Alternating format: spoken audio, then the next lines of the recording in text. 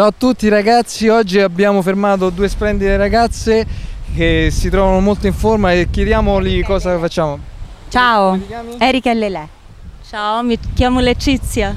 Perfetto, cosa fate nella vita? Eh, a livello lavorativo?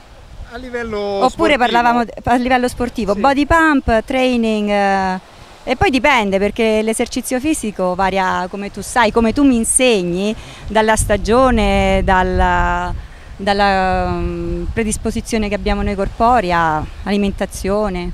Perfetto, perfetto, va benissimo.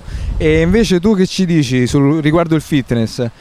Io ho una passione per il fitness da piccola, da 8 anni di età io mi esercito, dipendendo da dove sto io l'improvviso. Se sto sulla palestra faccio i pesi della palestra, tutta attrezzatura, se no a casa, addominali, i pesi che ce l'ho io a casa, eh, su- anche sulle gambe. Il segreto è non avere mai la difficoltà.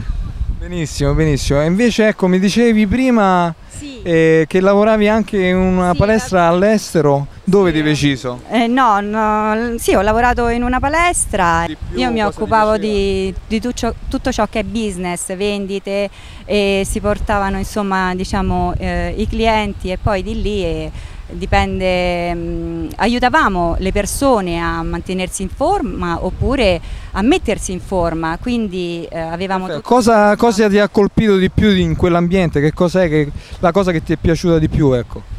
Beh, l'ambiente del fitness è sicuramente un bellissimo ambiente per lavorare. Devo dire che mi trovavo ad avere sempre meno tempo. Ora che non lavoro più in palestra ho molto più tempo per me stessa per allenarmi.